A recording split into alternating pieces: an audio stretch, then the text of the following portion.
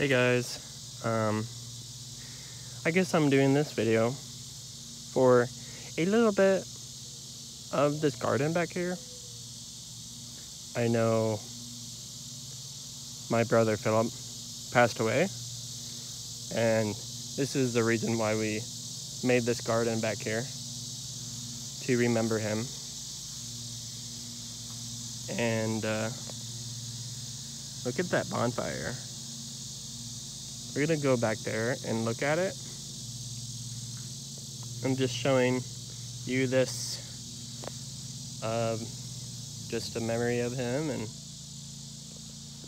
and I haven't really seen this little guy before.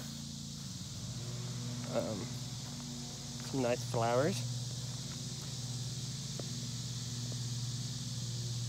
Really pretty flower flowers. That's pretty. And if we go back here, um, here's a huge bonfire. I guess kind of nice to see that garden back there too. Maybe even determine how big this bonfire is and how big it is going to be. it's like huge. Goes all around. Looks like a lot of dead stuff on the back. Some some fruit trees over there. And the garden with looks like flowers. Yep. From a distance. And huge bonfire. Yep. Get a good video of that. And the flowers over here.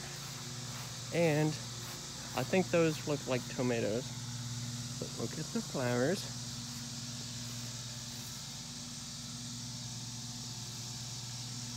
Um, probably a nice flower from this direction. And some good flowers from this right here. Purple